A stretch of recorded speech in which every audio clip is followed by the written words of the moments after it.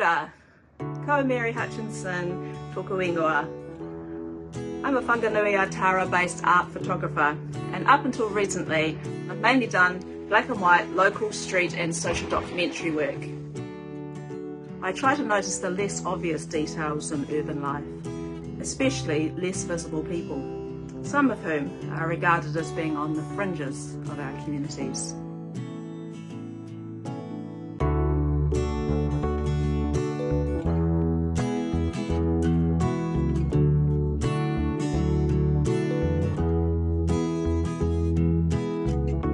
The Windscreen Washers series comprises mainly Te Whanganui-a-Tara tangata, who supplement their low incomes by offering to clean the windscreens of cars stopped at traffic lights in the city.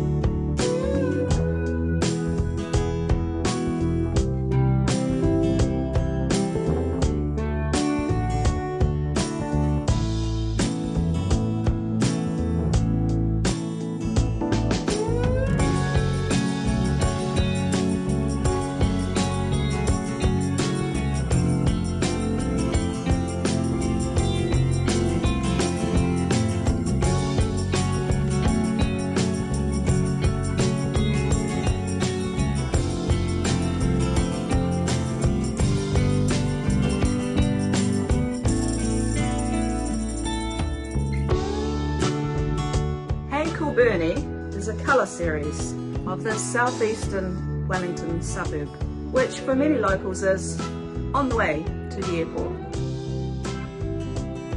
I'll read the poem which accompanies the series.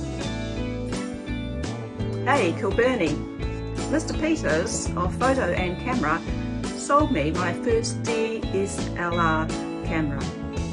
Kilbirnie Plaza, 2011. Before, KB was Bay Shoes, The Pool, Kids Books, Warehouse Stationery, Burke's Bikes. White Top Waves welcome home along Cobham Drive from expeditions, photographic and other. Viking Peninsula Bays, airport taxi rides, journeying on trolley bus number 11.